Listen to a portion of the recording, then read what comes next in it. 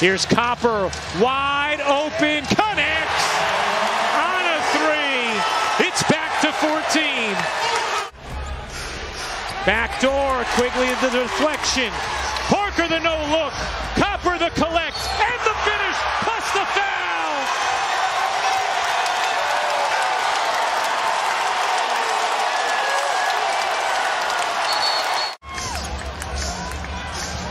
Evans steps back and hits the three.